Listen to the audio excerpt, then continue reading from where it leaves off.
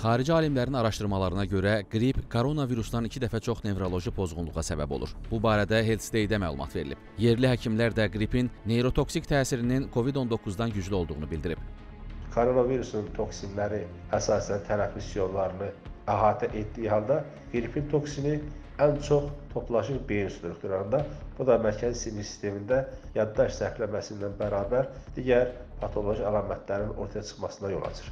Əsasən zədələnmələr beyin qabığında, qabıqaltı strukturlarda baş verir. Neuropatiyalar, hərəkət pozğunluqlar, sinir oyanmaları, kəskin baş ağrıları, bəzi hallarda görmə və eşitmə pozulması halları kimi əlamətlər ortaya çıxa bilir. Qrip virusuna yoluxmuş insanda bu ə, simptomlar artıq 2 həftədən çox davam eləyirsə, bu zaman ağciyərlərə ağırlaşması olur, pnevmoniya, bronxit. Yaşlı insanlarda ürək-damar sistemində ağırlaşmalar verə bilər. Eyni zamanda sinir sistemində də meningit, ensefalit kimi ağırlaşmalar verə bilər. Xəstələrdə meningit, meningoensefalit baş verirsə, yüksək temperatur, halsızlıq, qıcolma tutmaları da yarana bilər.